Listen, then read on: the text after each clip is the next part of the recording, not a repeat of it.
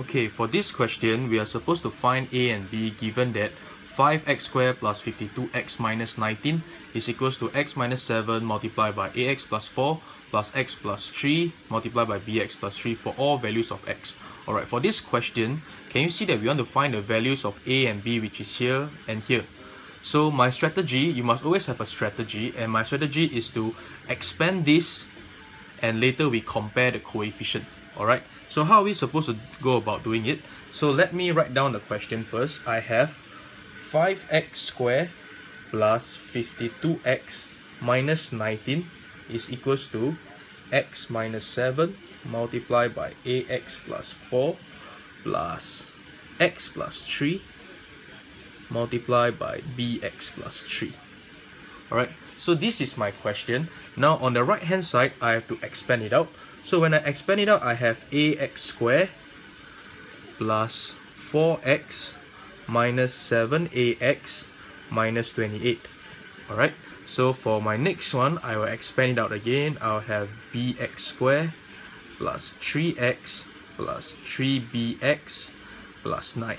Okay, now I will group my terms together. I have x squared and I have x squared. So I group them up. So I have a plus b x squared.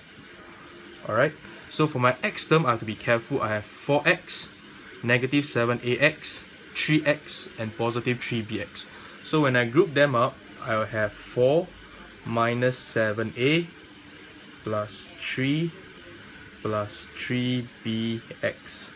And now I have my constant term negative 28 and 9. So I put them together in this manner. So I can see that my 4 and 3, I can still simplify them. So I have a plus bx squared plus 7 minus 7a plus 3bx minus 19. Alright, so now I'm ready to compare my coefficient. Can you see that on my left hand side I have 5x squared, but I have a plus b x squared. Alright, so I can actually say that 5 is equals to a plus b. Okay, for my coefficient of x, I can see that 52 is actually equals to 52 is equals to 7 minus 7a plus 3b. Okay, I can get this as well. For my constant, you can see that it's negative 19 and negative 19. This is also one way to double check your answer. So when it's both is negative 19, we are good to go. So now I'm just solving a simultaneous equation. I have two equations. So I'll start from my first equation. I can make A my subject. A is equals to 5 minus B. So I sub, I call this equation 3. I sub 3 into my equation 2 and I try to solve it. So I'll have 52 is equals to 7 minus 7, 5 minus b plus 3b. Alright, so it's my 52 is equals to 7 minus 35 plus 7b plus 3b.